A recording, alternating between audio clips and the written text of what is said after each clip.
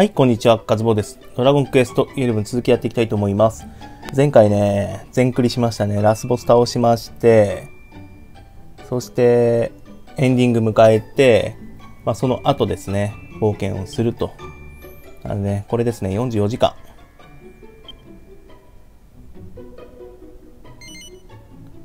あらすじ見ますか？見ましょうか。お、あれの続きなんだ。死闘の末、とうとう全ての元凶である魔王ウルノーガを倒したカズボウたち。地に落ちた命の退治は復活を遂げ、荒れ果てた世界に再び光が戻った。使命を果たしたカズボウたちはそれぞれ自分たちの故郷へと帰っていった。そして、続きだ。カズボウたちが魔王ウルノーガを倒し、世界に平和が訪れてから数日後。カズボーと仲間たちはベロニカの死を悼んでラムダの思い出の地に集まっていた。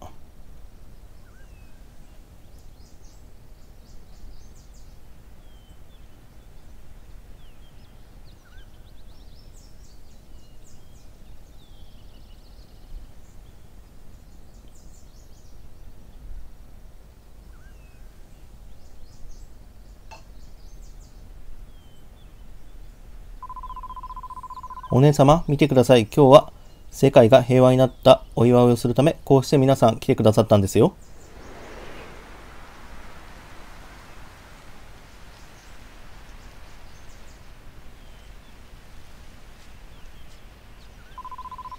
ああ、命の大樹があんなに気持ちよさそうに葉を広げていますわ。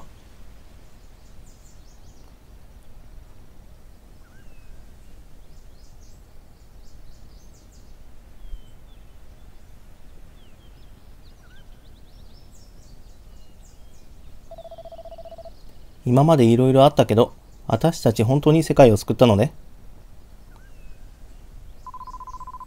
悪しき魔王の手によって、この世界は一度闇に覆われました。私たちは尊い命を、多くの命を失った。でも、私たちはこうして生きています。生きて笑っていれば、きっと何度だってやり直せますわ。それに、いつまでも泣いていたらお姉様に怒られてしまいますものね。ばっかじゃないの、あんた。世界が平和になったってのに、新規臭い顔してんじゃないわよ。ってね、うふふ。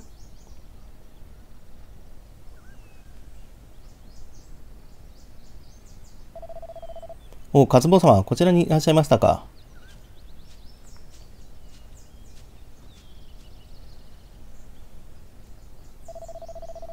里の者が祝杯の宴の主役はどこだとしびれを切らしておりましてな。皆さんぜひ里にいらしてください。待ってました。祝杯の宴よ。さあ行きましょう、カズボウちゃん。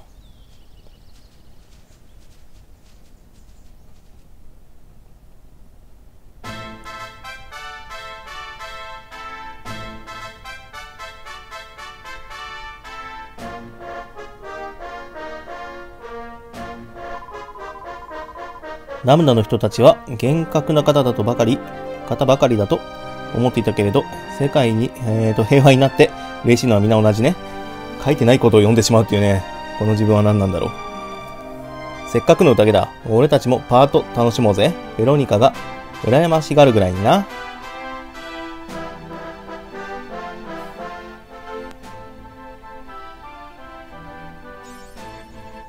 お、ロトゼタシアの救世主。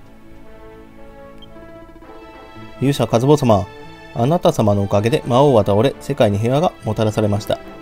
我ら一族も勇者様を守る使命を果たし、肩の荷が降りて安心したのでしょう。いつも以上に喜び、騒いでおります。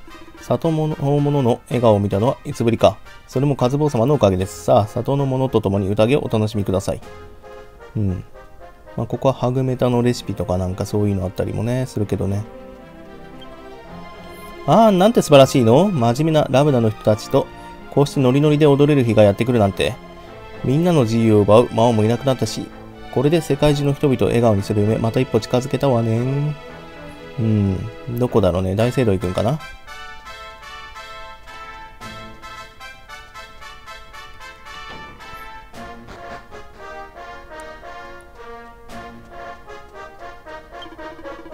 おう、世界を救った勇者殿。宴の主役がどこに行こうってんです？さあ、戻った戻った。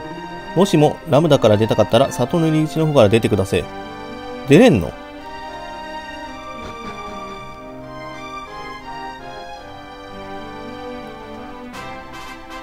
うん、まあ、入り口というか次どこに行けばいいかわからないからね、さすがに。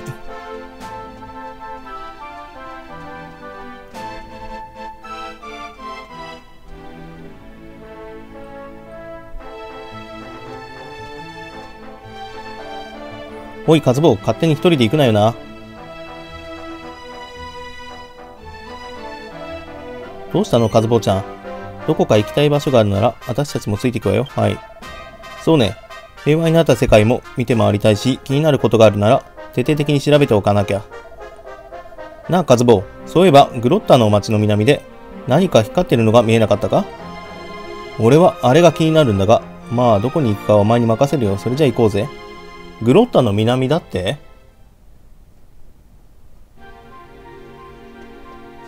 うん。こんなの知らないぞ。なんで魔物がいるんだ？ところで。え、これってもう、いけないのかな？あそこ。魔王のところ。まあ、平和になってる世界って言ったからね、ブラッディハンド初めてですよね、アニメね。やそれはいいんだけど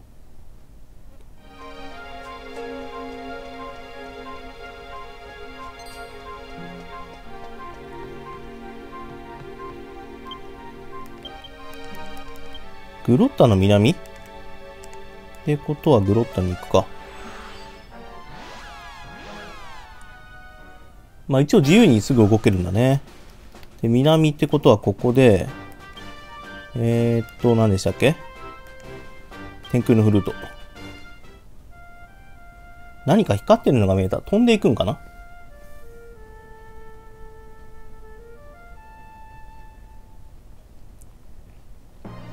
エンディングの、お、なんだ？びっくりマークがいっぱいついてるぞ。エンディングの最後の方に、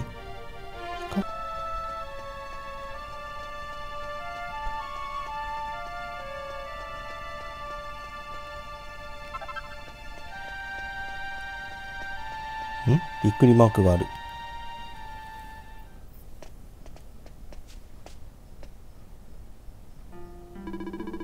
アウィン、エレノア、また来たぞい。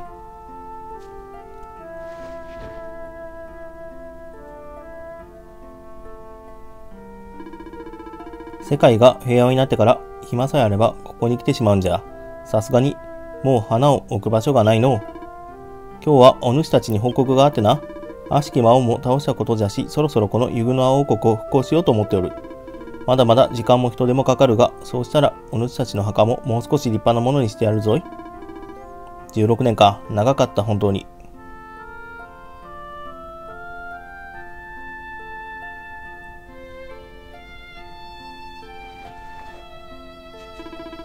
ははは、まったく情けないの。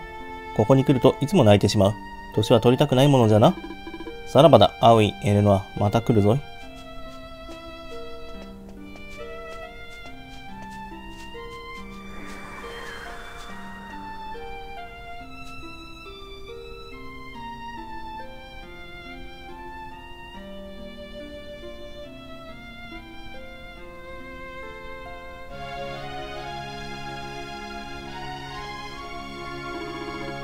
どうしたカズボウ早く行くぞい。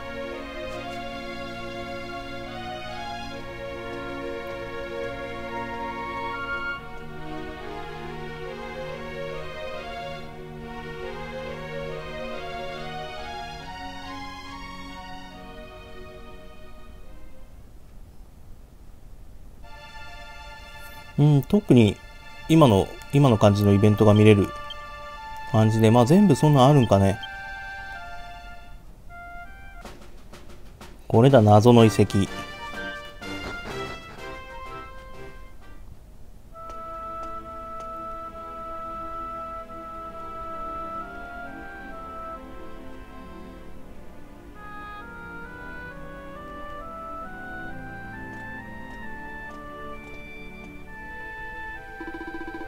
はて、ここは前に来たことがあったかのとてもよく似た建物をどこかで目にしたような気が。この独特な装飾、確か神の民の里でも見たわ。神の民と関係があるのかしら何か新しい発見があるかもしれないわね。ちょっと中を調べてみましょうよ。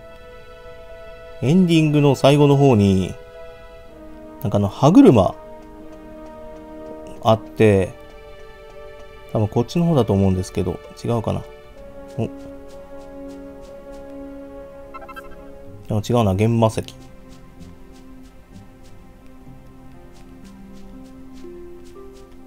なんもないのかな？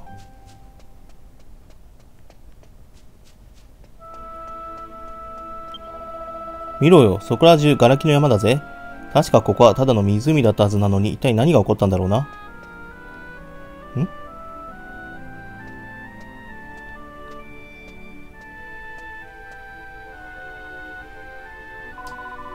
不思議な壁画ですね。なんだか見入ってしまいます。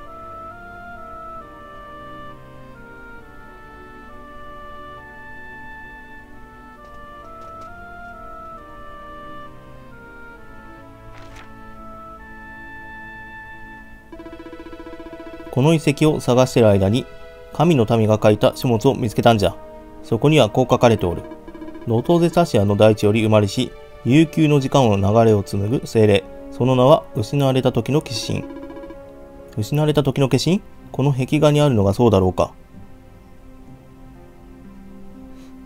んなんだこれ。神の民の伝承曰く、失われた時の化身が、守り師は、黒源を司る神聖なる光。その光、輝き燃ゆるとき、悠久の彼方に、失われし者が大いなる復活を果たさん。復活ってもしかしてその光には、失ったものを蘇らせる力があるってことかしら？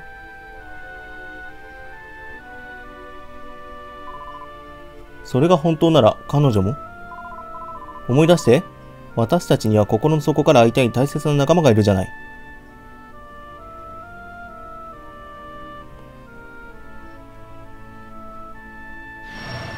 ベロニカ。お姉様が生き返る？ちょっとローちゃん、その光の力についてもっと詳しく書かれてないの？黒源を司る神聖なる光、忘却の塔にて静かに輝けり、輝けり。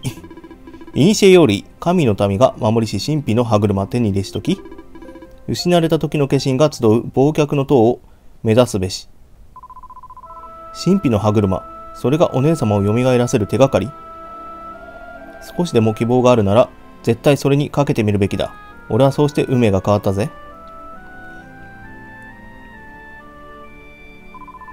たとえわずかな希望でも、もう一度お姉様に会えるなら、私はその希望にかけてみたいです。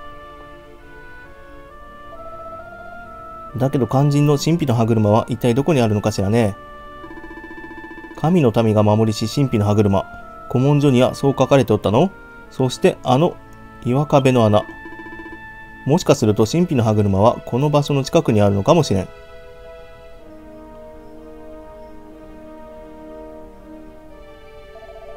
あそこからさらに奥へ行けそうだな。何か手がかりがあるかもしれない。行ってみようぜ。なんだって？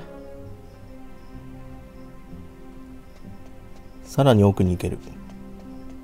さっき何も、あ、何もなかったのに。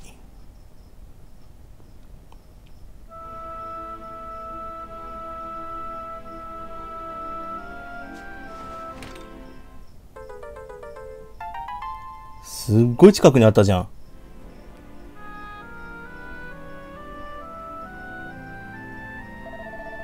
まあ、神秘の歯車を見つけたのね。さすがはカズボちゃん。グッジョブよ。これエンディングにあったのここだもんね。だってね。神秘の歯車手に入れしとき、失われた時の化身が集う、忘却の塔を目指すべしか。あとは失われた時の化身とやらが集うという塔を見つけろということか。なんとも雲をつかむような話だな。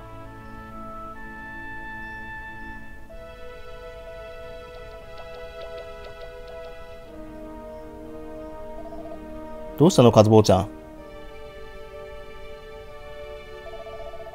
もしかしてお前こ、何か心当たりがあるんじゃないか？実は俺も気になる場所があってさ、命の胎児の北に錆びれた塔があるのを思い出したんだ。もしも他に当てがなかったら、ケトスに乗ってそこに行ってみようぜ。何か新しい発見があるかもしれねえからな。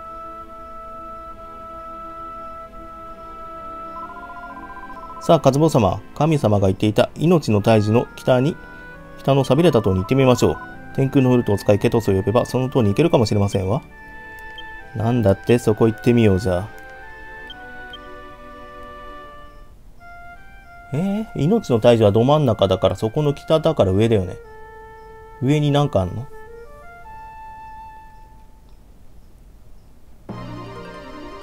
えー、っと、あ、あった、びっくりマーク。他のびっくりマークは消えちゃったけど。こ、これか。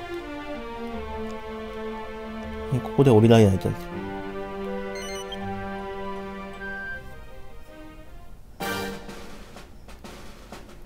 忘れられた地だって。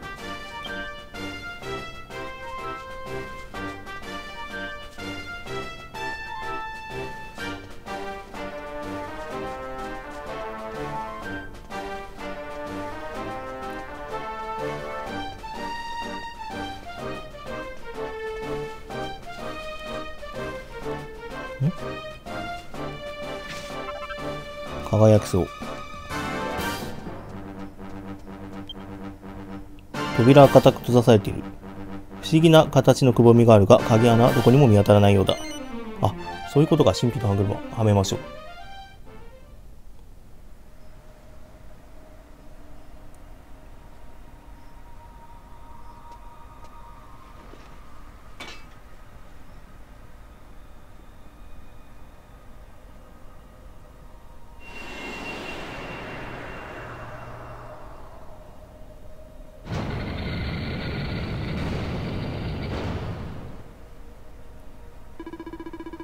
お、道が開かれたぞい。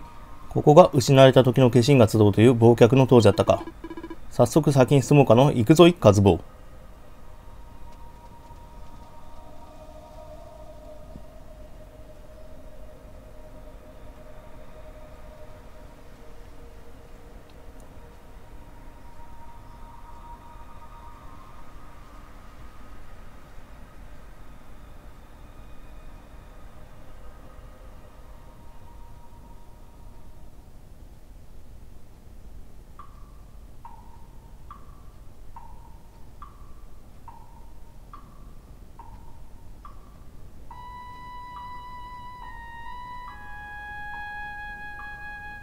忘れられた塔。ここ行くんだね。ということでまあエンディング後ですね。クリア後の世界。まだ冒険は続きそうですね、まあ、おまけっていうか完全に続きですよね。魔王がいなくなってますもん。だって今までだったら、まあ、魔王を倒せて、ね、エンディング変わったりするんですけどね、まあ、この後は真のエンディングがあったりするんかな。ということでね、これはね、ゆっくりやっていこうと思います。ご視聴いただきありがとうございます。次の動画でお会いしましょう。